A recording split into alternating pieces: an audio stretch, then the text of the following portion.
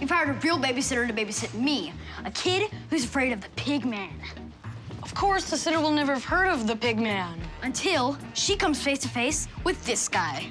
That's right, I'm the pig man, and I am gonna scare some babysitters. Larissa, this is Dusty. Hey. This is my wife, Sally. This- And here's our target now. Meet Larissa. She thinks she's here to babysit Dusty and Herman and read Herman a bedtime story. Well, that's exactly what she's gonna do. But here's the cool part. The book she's gonna read was written by us.